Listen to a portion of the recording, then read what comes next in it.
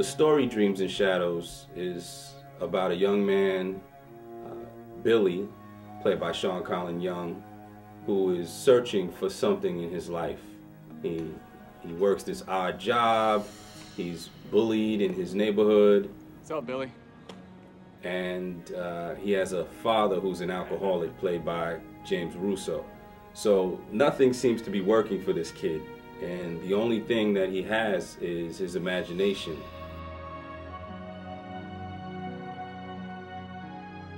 I think what drew me to the story the most was the fact that the character being an outsider and being uh, I love I'm a, I'm a sucker for the hero's journey, you know? I'm a total sucker for that classic like guy's world gets turned upside down and then he has to find a way to come to terms with that and grow.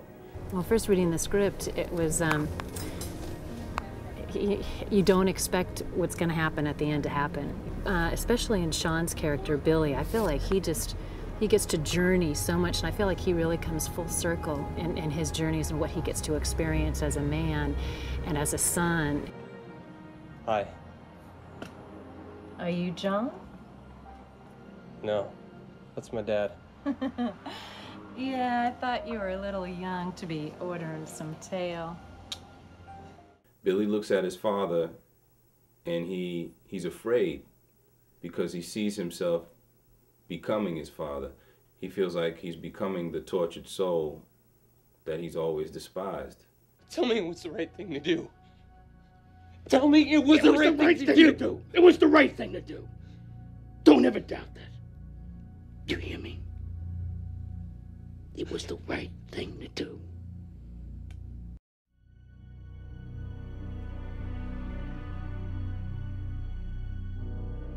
Dreams and Shadows makes James Russo's 99th film.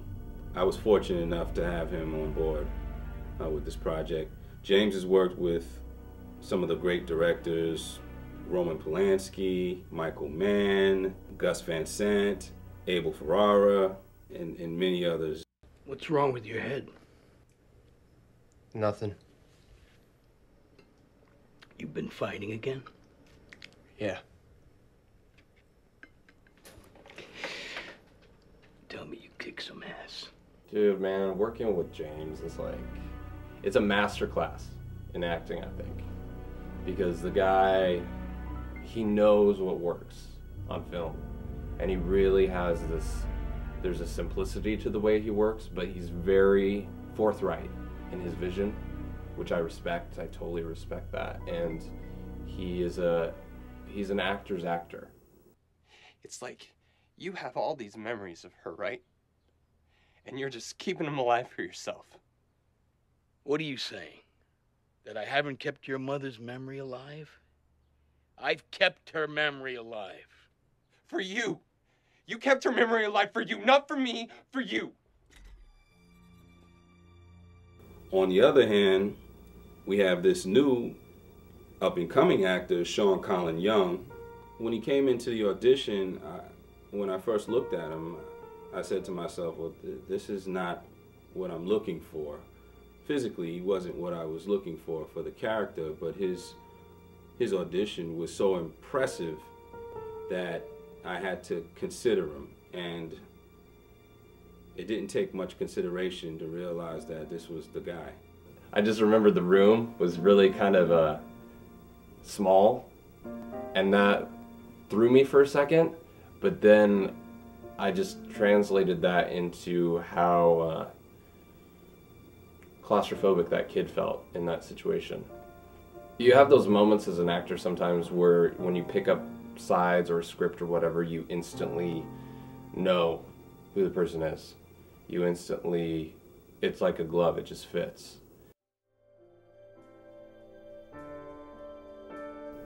The cinematographer was Grisha Alisadi, and he did a wonderful job. He's a very meticulous cinematographer, and that's great because I'm a meticulous director. He really brought my vision to fruition. I wanted to do a piece that had a film noir look, very crushed blacks and contrasty images.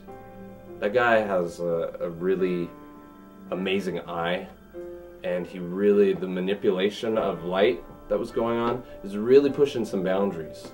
In the shadows on our faces and like the little squares of light that would be on us in certain scenes and where it hit and just the collaboration between Grisha and Tamarat and the look of it and the feel of it I think really added to the storytelling of it.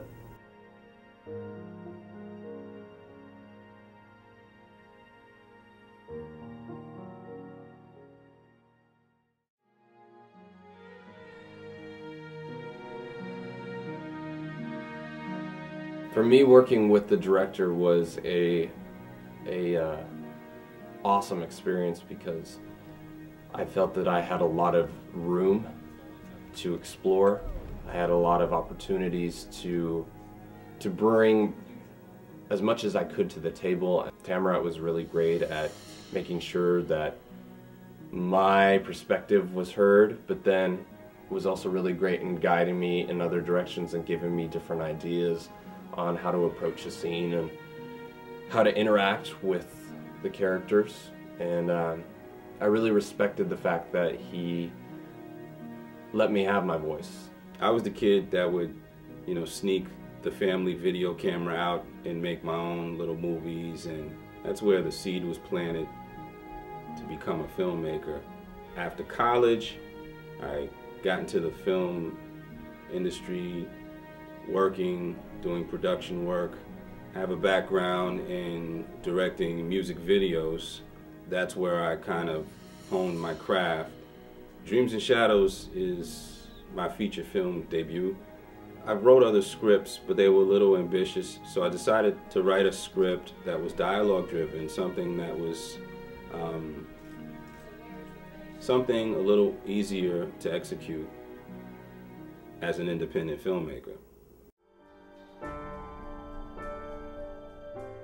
This experience on Dreams and Shadow and working with the crew was, to me, one of the most uh, supportive sets that I had ever been on.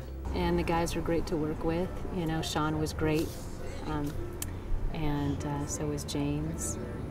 And uh, yeah, it was a really good experience. From the makeup to costumes to you know the lighting, like everything I felt was just there was a good harmony that was happening.